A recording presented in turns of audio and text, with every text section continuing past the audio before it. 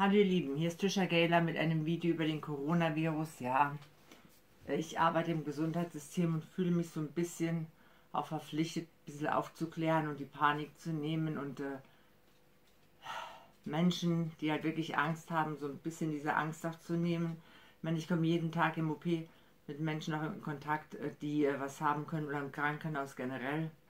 Und äh, ich mache mir da keine Sorgen aus dem Grund, es ist eine Pandemie und ja, man kann dran sterben. Aber an jedem Virus kann man sterben. Und es betrifft eben auch das Menschen, die älter sind, ja, das Sterben, die schon Vorerkrankungen meistens haben. Was nicht bedeutet, dass es auch nicht mal einen schlimmen Verlauf nehmen kann bei jemandem, der gesund ist. Aber das kann eben auch eine Grippe. Das kann jeder andere Virus, ja. Ähm, man sollte Vorsichtsmaßnahmen walten lassen. Das ist ganz, ganz wichtig. Also bevor man einen Einkaufswagen angreift, bitte erstmal desinfizieren, ja, den Griff desinfizieren. Nicht zu nah an Leute rangehen, wenn ihr husten müsst, weil die Inkubationszeit dieses Virus kann bis zu 14 Tage betragen. Das heißt, ihr merkt nicht, dass ihr es habt, kommt mit anderen in Kontakt und in den 14 Tagen seid ihr hoch ansteckend. Ähm, die Pandemie hat noch lange nicht ihre Spitze erreicht. Also es wird weiter hochgehen und je mehr Menschen infiziert sind, umso mehr Todesfälle wird es geben. Es sind etwas mehr Männer infiziert, weil die ein etwas schwächeres Immunsystem haben als Frauen und es betrifft eher auch ältere Menschen, weil dasselbe zutrifft. Aber eben auch bei uns in Deutschland wurde, glaube ich, ein Kind jetzt auch äh, mit dem Coronavirus ähm, entdeckt, also dass es auch hatte. Also man ist nicht davor gefeit und einfach, also ich gehe halt so damit um, dass ich sage, wenn ich kriege, kriege ich es, ja. Es bringt ja nichts vorher Panik zu haben oder Angst zu haben. Man kann es nicht wirklich 100% verhindern. Selbst unser Mundschutz im OP, ähm, der hat ja auch offene Stellen, ja, das ist... Äh, es gibt vielleicht ein bisschen mehr Sicherheit, aber so hundertprozentig ist es halt eben auch nicht. Ähm, ich würde halt ähm, geschlossene Räume mit vielen Menschen vermeiden. Ich gehe in keinen Fahrstuhl im Moment zum Beispiel. Ich nehme lieber die Treppen, wer das noch kann. Wer es nicht kann, sollte vielleicht dann doch einen Mundschutz tragen oder sowas. Ähm, oder halt das einfach vermeiden.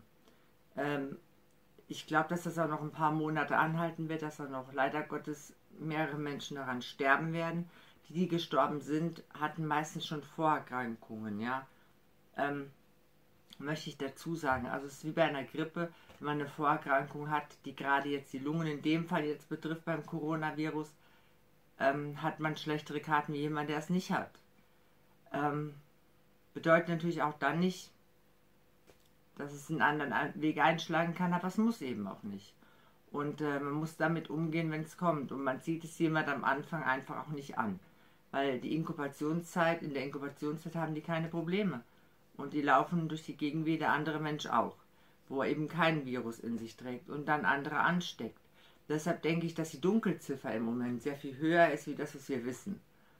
Ähm, wie gesagt, und äh, wenn man einfach Fieber bekommt und sollte man zum Arzt gehen und das testen lassen, kostet ja nichts, ja, und dann isoliert man sich halt und tut das Richtige und äh, es ist nicht die erste Pandemie und es wird nicht die letzte Pandemie sein, ja wir leben in einer Welt, ähm, in der das Reisen einfach normal ist und auch in Ländern, wo die medizinische Versorgung vielleicht nicht so gut ist wie bei uns und ähm, man muss damit rechnen, was zu kriegen. Und wenn man, wie ich jetzt im Gesundheitswesen arbeitet, muss man auch damit rechnen. Also vom MRSA-Virus bin ich auch nicht gefeit, ja. Also es ist wie es ist, ja, man muss damit leben und man sollte keine Panik haben, weil man kann damit nicht verhindern, dass man es kriegt oder eben nicht kriegt.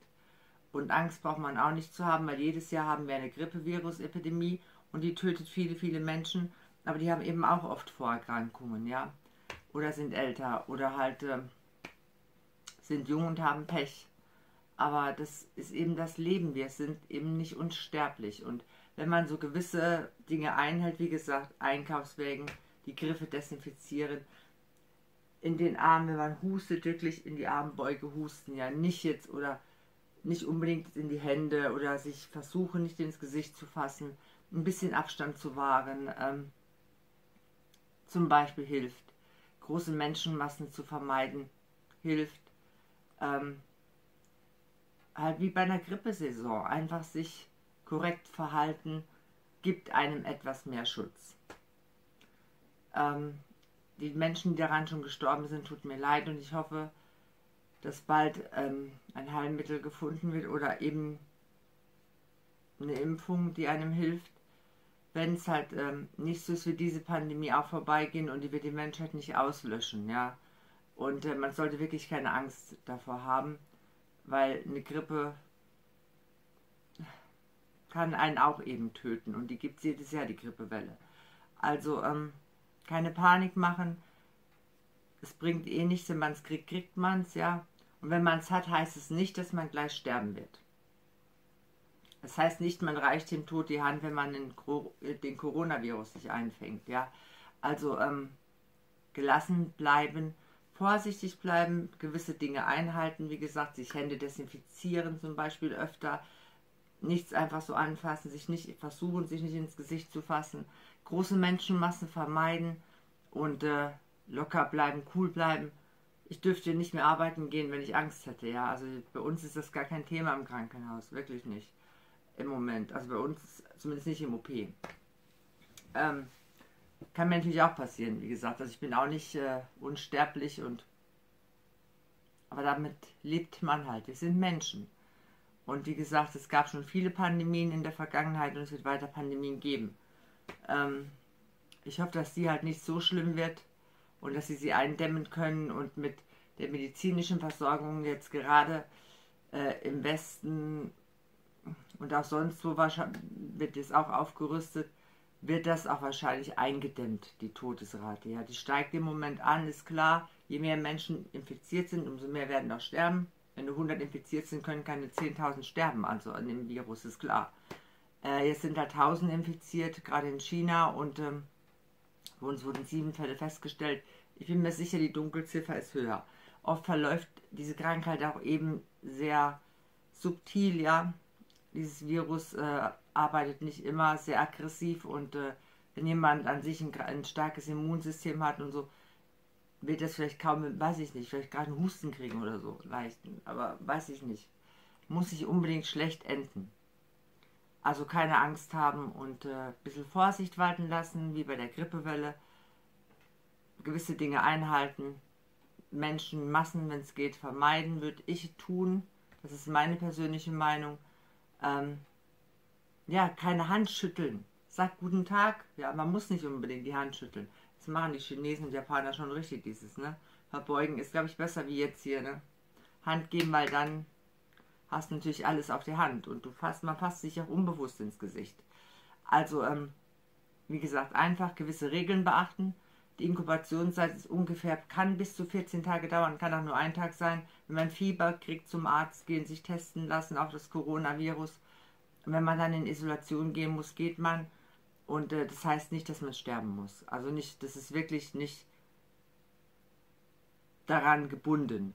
Keine Angst haben, locker bleiben, cool bleiben. Ich wünsche nur das Beste von Herzen. Und ähm, ja, wie gesagt, Panik machen bringt gar nichts, weil einfach, wer es kriegen soll, kriegt. Und man kann es dadurch nicht verhindern, man macht sich nur verrückt, bevor man es kriegt. Also, ähm, ich wünsche euch von Herzen nur das Beste und dass ihr das Coronavirus nicht bekommt. Und auch kein anderes Virus. Ähm, passt auf euch auf, seid vorsichtig und äh, ja, bis bald. Eure Trisha, abonniert meinen Kanal. Daumen hoch, ne? Und äh, keine Angst. Bis bald.